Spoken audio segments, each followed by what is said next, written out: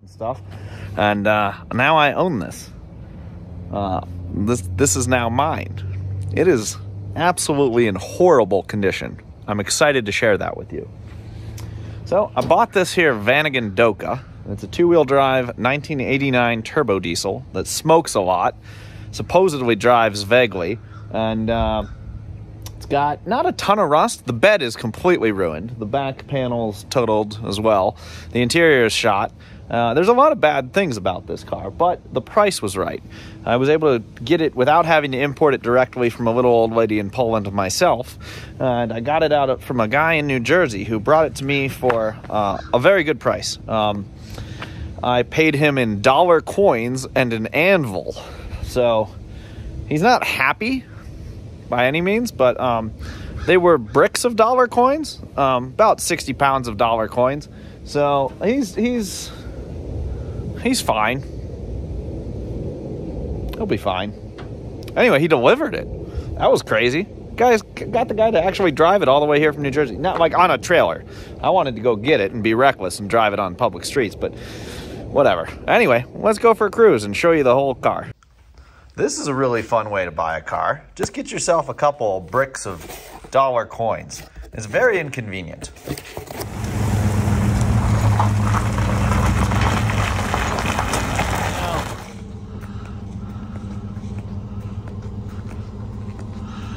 Looks good. How was the trip? Well, it's uh, it's pretty bad back here. Yeah, hold on. Let's see what it does. We're in neutral.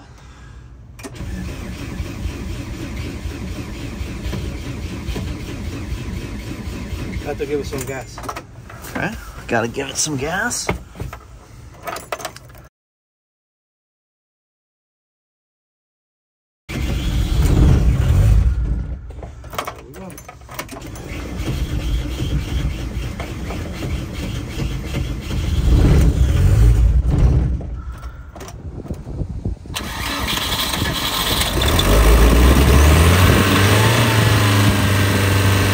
It's alive!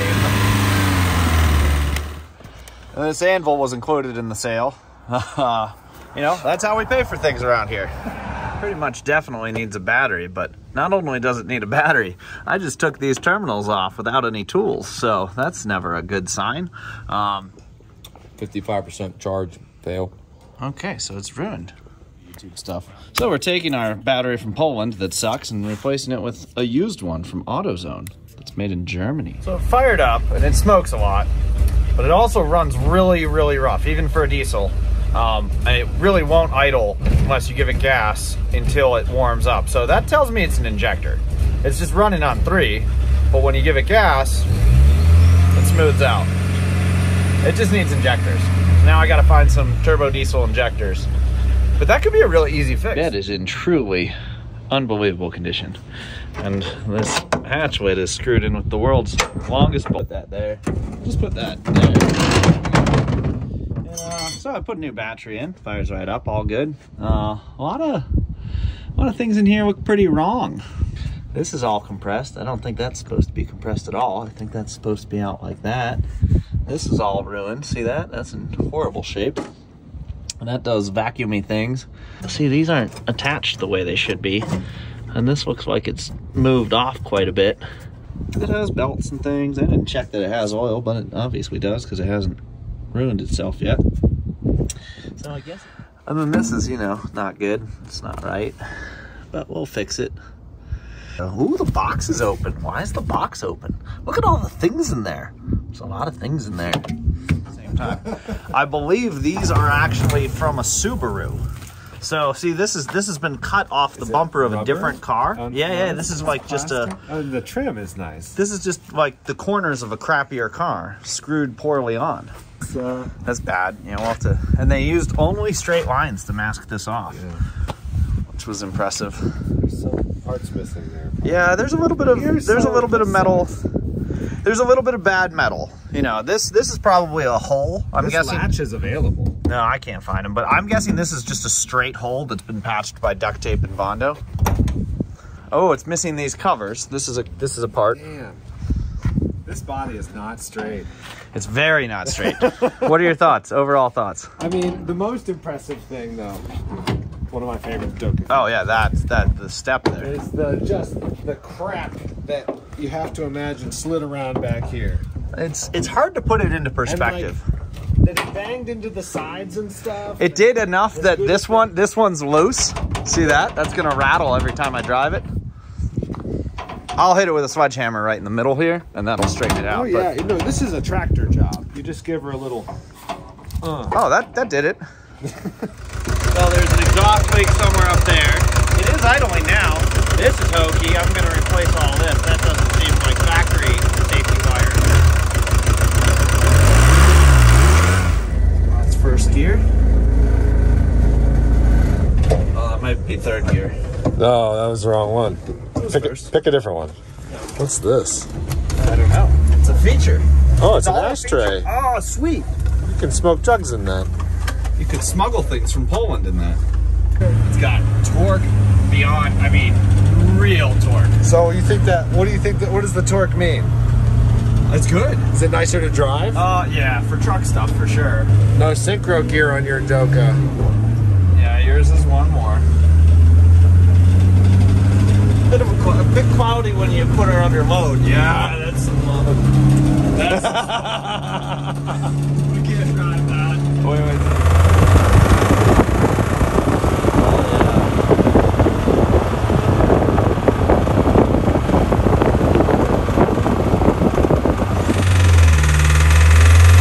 Well, so not only is this just patched, you know, with with uh, RTV, this is this is a Euro headlight or tail light.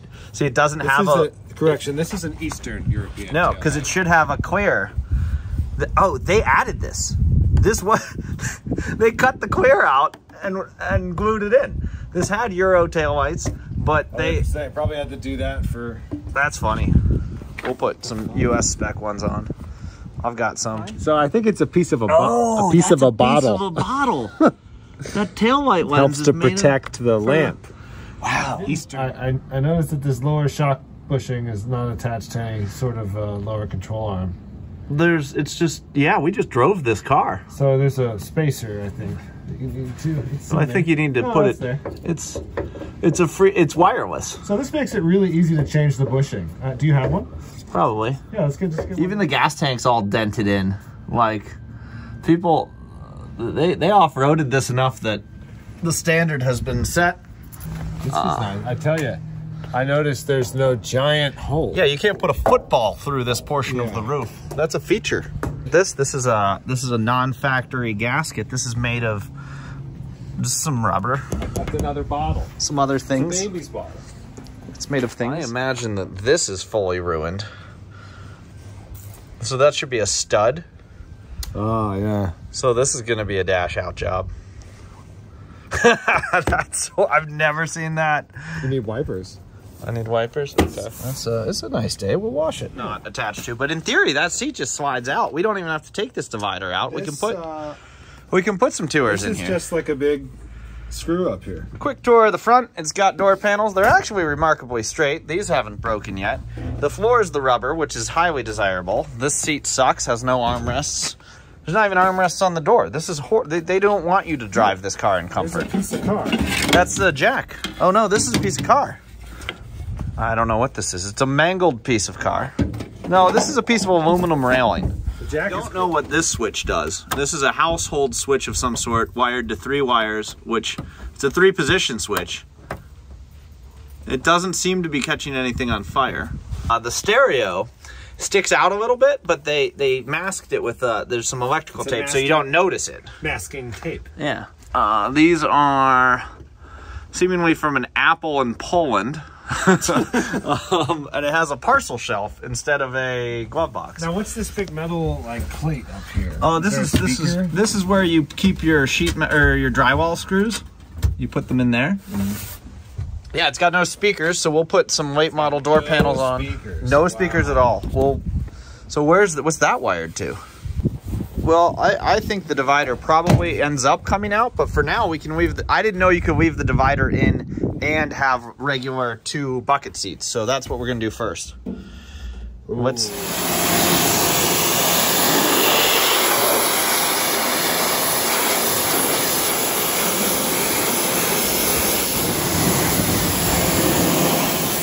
Is this, is this the way you clean the interior? Yeah.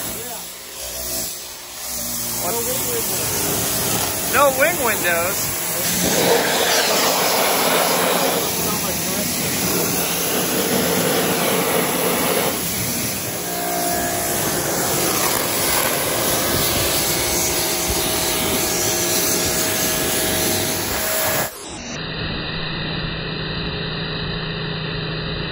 Pretty good. It's cleaning up pretty good. Uh, I don't know. The bed is very bad. This thing is in, it's all wavy and stuff.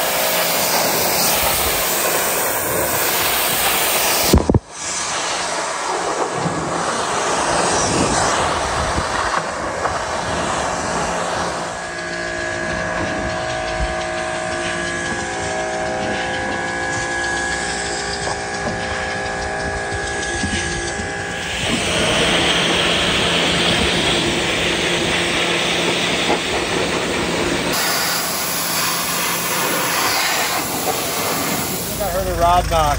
a rod knock. Yeah. It would be consistent if it was a rod knob. That doesn't sound bad. No, that's pretty good. I think that's exhaust looseness or something that's knocking. Um, the bed looks like it's been used slightly. Subtly. Subtly. It's a subtle. Subtle. I do like the, the cage in the back, made with rebar, so you know this is quality construction. And it's been stick welded on. That's right, like a caveman did it. Keeps the yes. Horsepower in. Keeps the horsepower in. Look at that door card. That's OG. Yeah. We're gonna make a new one out of aluminum or Damascus or something. love this. That's not original. I mean, a this, leather strap. this is this is like a someone's like a horse belt Yeah. with some sheet metal screws. European. So we ripped the front seat out already, and we're gonna do two bucket seats out of a Westie Oh, that's cool. because I don't need the seat six, and then I can put cup holders in.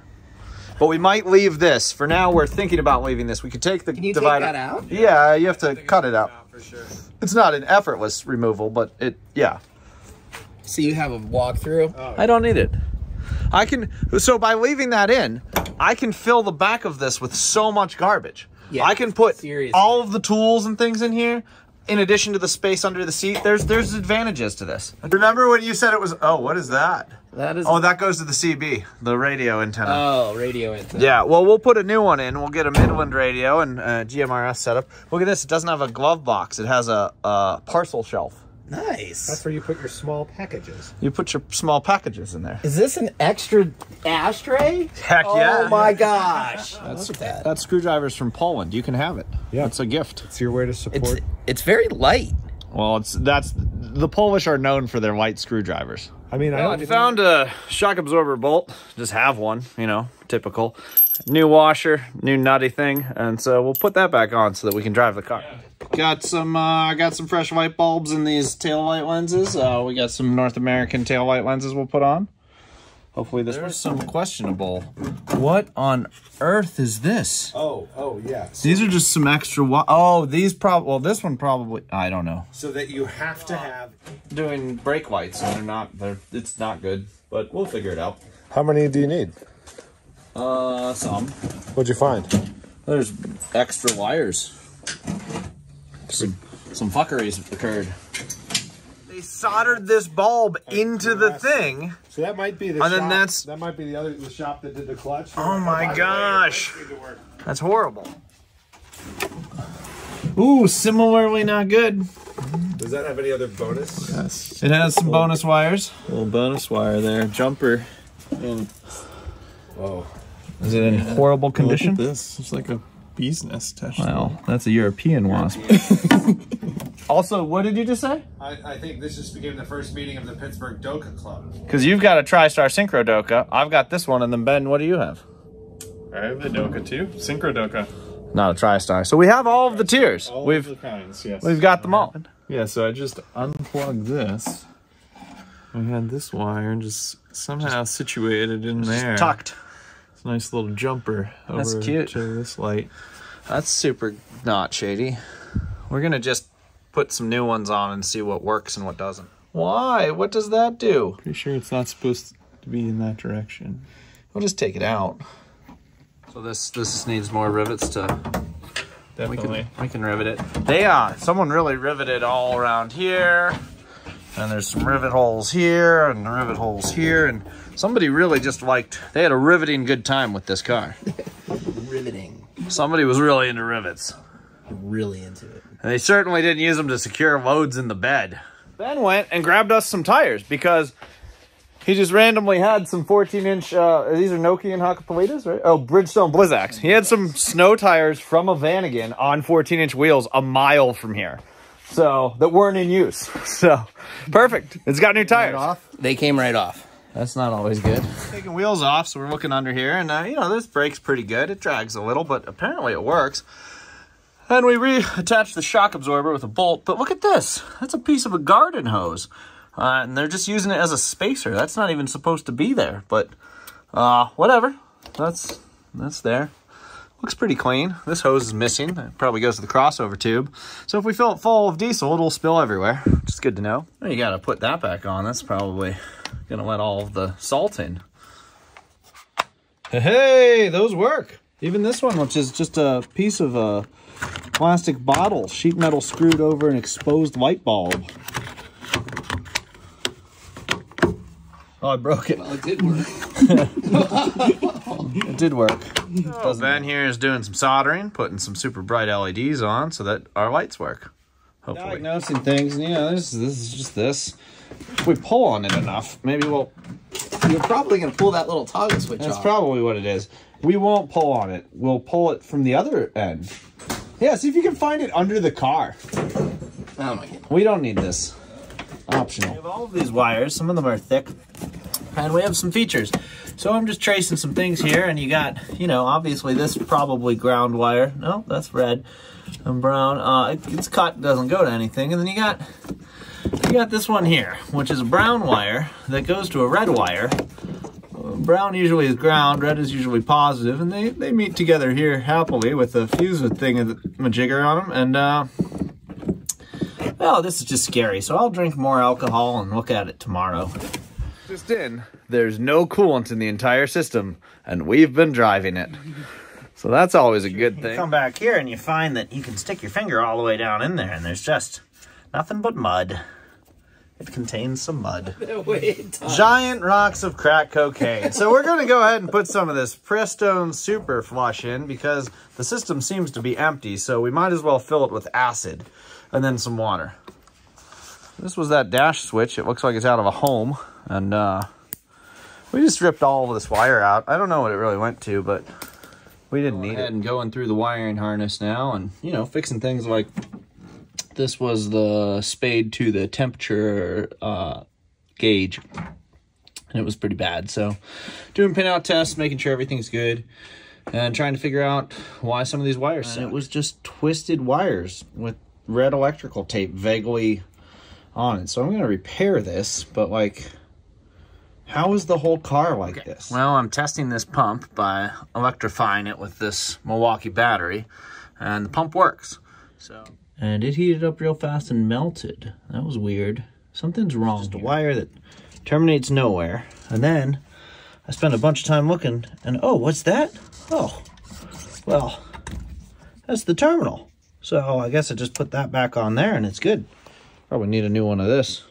Definitely need a new one of this. I spent like a whole day wiring. And honestly, I think I only moved one wire. But this thing was all hacked up. Anyway, I think it's good. So now I'm going to attach the battery and watch all the smoke come out as the entire harness melts down in front of me. Hopefully that doesn't happen. No sparks and not an enormous amount of fire. No sparks. No enormous amount of fire. That's good news. Okay, the next thing to check is whether or not the turbo's bad. Believe it or not, I'm kind of vaguely hoping the turbo's bad because the turbo being bad would account for the smoking issue without having to replace the entire engine. A turbo is available. It's like 600 bucks. Um, relatively easy bolt-on, I believe. So, so we've got this thin spot in the charge pipe, and that's definitely some kind of a hole. So when this is running, you know, 8 or 10 PSI through there, I think the air is coming out. And that's meaning the engine thinks it's getting more air, so it's throwing more fuel at it, and that's what's making it smoky. So I think we just needed this. But for now, we're going to solve it using some of this gray tape. That's professional, right? That'll that'll work. Probably. Uh, you know, uh, doing the things, and I can I can play with the shaft a little. And sometimes you got to play with the shaft a little. Now we want to see some movement, but we don't really want to um, excite it too much. So just a little bit of movement's fine. But if we're really getting it going, we can't put that on video, and we'll need a new turbo. Here we go. This is the turbo. And it moves, but I don't think it moves a lot. It spins nice.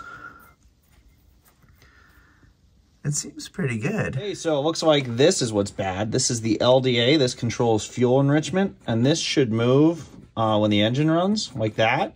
But it should also run if I put, I believe, if I put 10 PSI into it, it should pump it out. And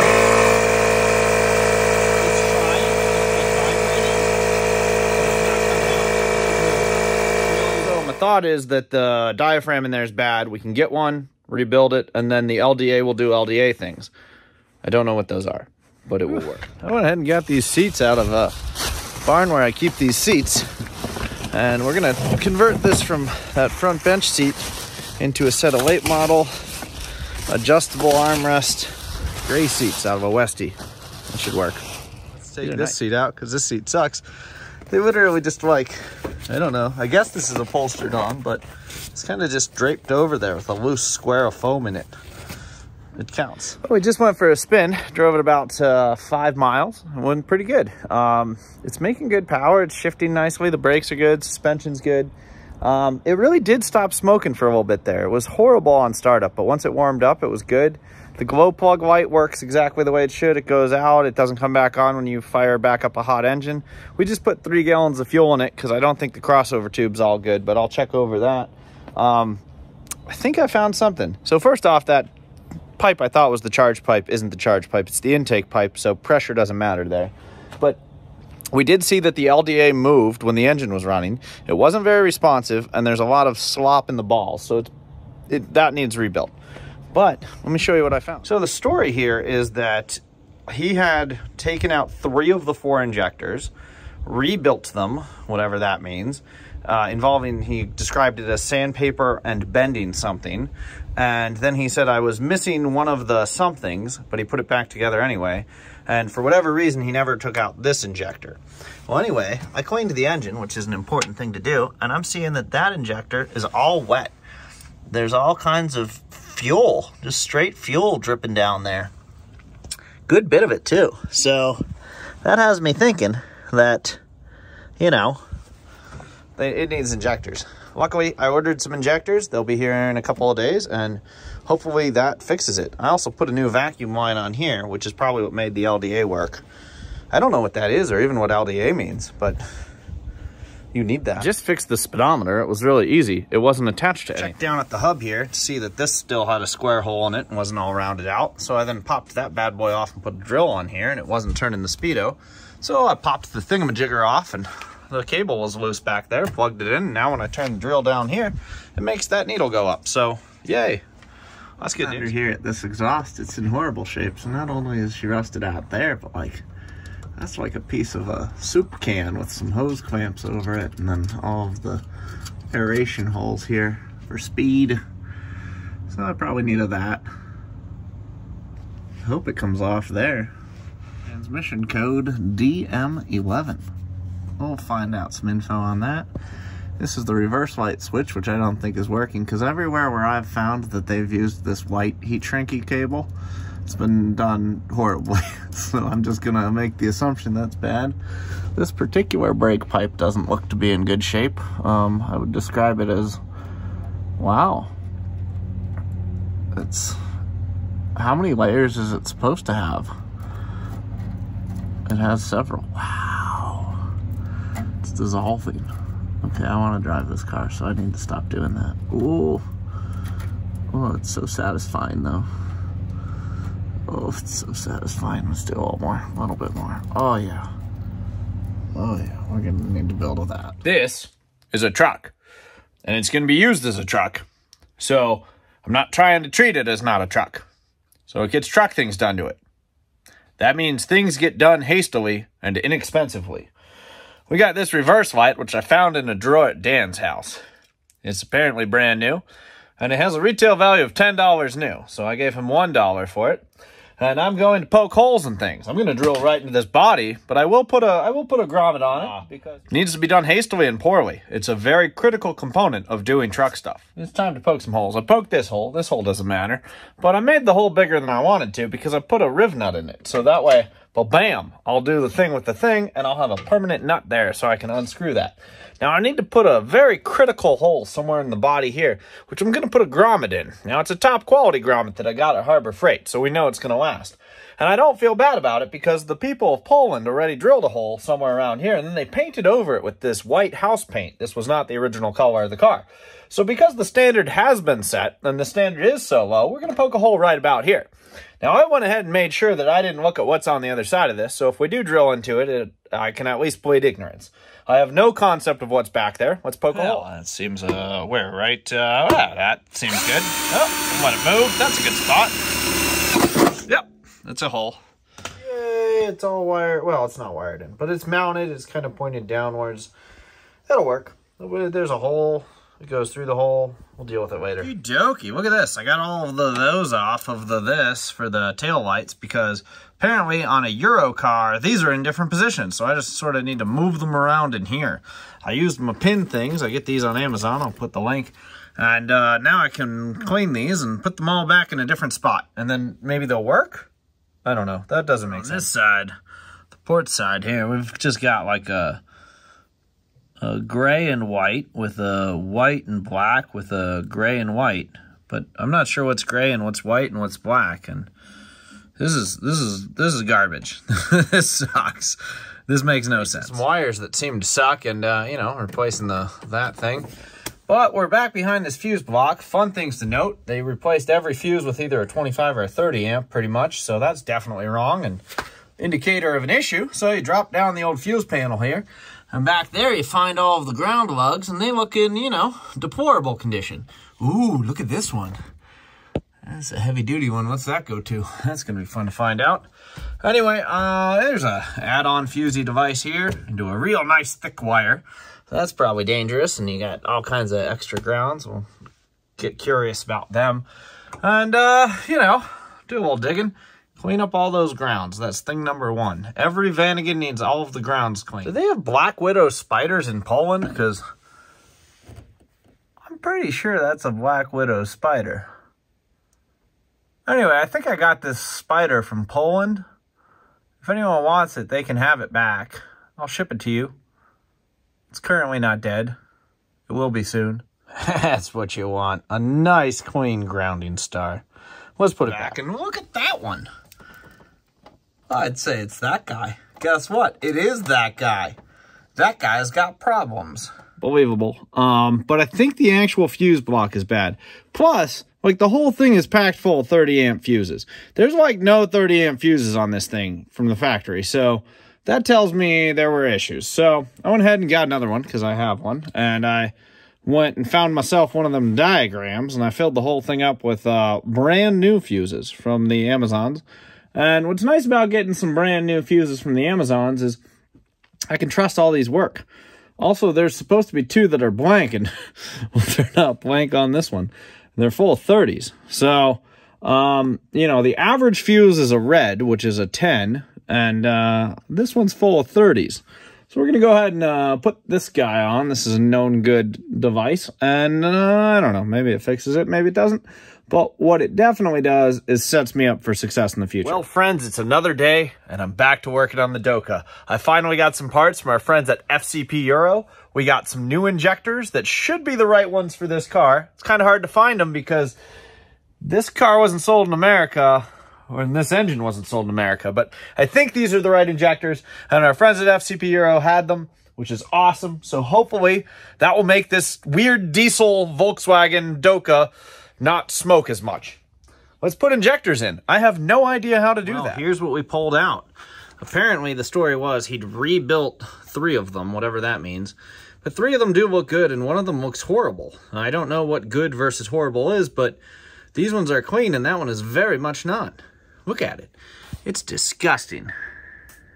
Yeah. So, I don't know. Also, these two are dry, but these two are covered in fuel. So that has me thinking we had some leaky injectors. The part number is the same between the used, the old injectors and the new ones, so I'm pretty confident in it. It is part number KCA30S36-4.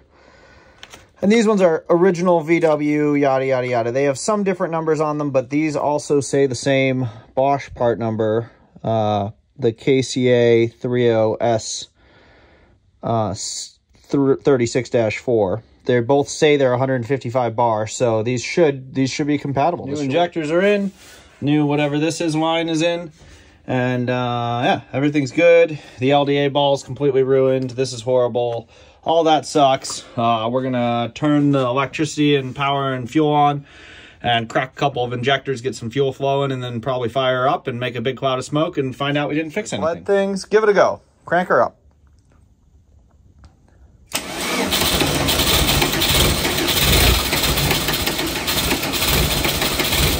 that's probably it for this chapter of Vanagon Doka life, uh, all that stuff. But uh, we did get it running. It uh, still smokes an enormous amount, so it still has issues. But um, it does seem to run smoother once it's up and running and, uh, you know, up to temperature. We adjusted the idle a lot. It was way off by like, I'd go with an inch. Um, so I'm pretty sure we're not getting full throttle either. I think that's probably way off too. But the point is, um, the engine does run, uh, but we didn't fix the problem. So, oh, all the tail lights work, like completely. I fixed that. It, it is correct. And there's a reverse light even. That's been wired in, so that's pretty good. Um, anyway, this is probably the end of this chapter. I don't know where we're going to end this video, but I'm going to guess with about here. So, uh, cheers, like, subscribe, smash that notification button. I don't know what I'm supposed to say.